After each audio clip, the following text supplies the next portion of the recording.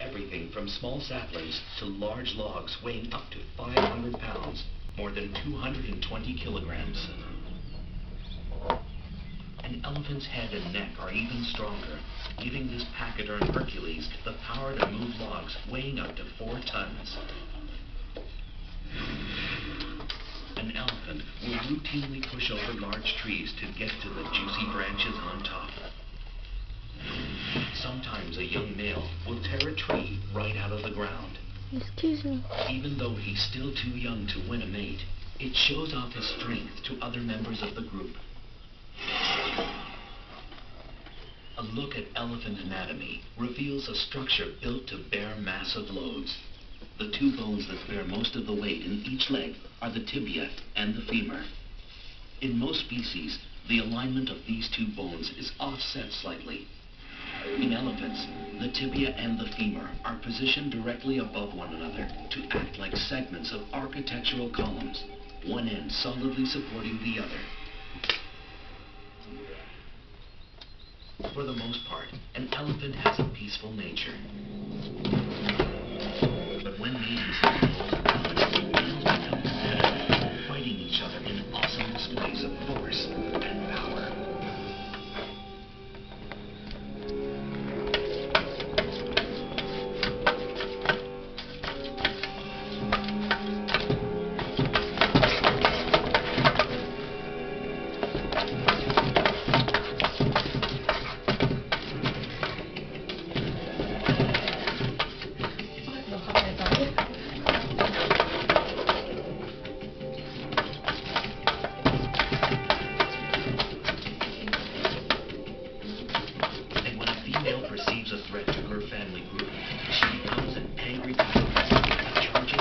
Nature, big enough and strong enough to off any.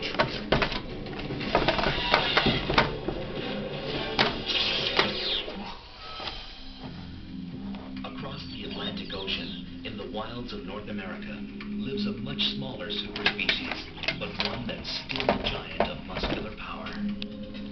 The Wolverine.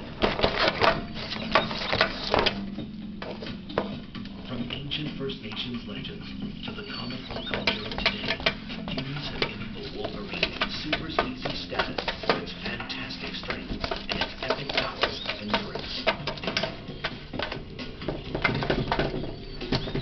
Wolverine hunts groundhogs, ground squirrels, and larger animals like Dall sheep. Weighing about 30 pounds or 13 kilos, a wolverine can drag off animals than four times its own weight. The wolverine lives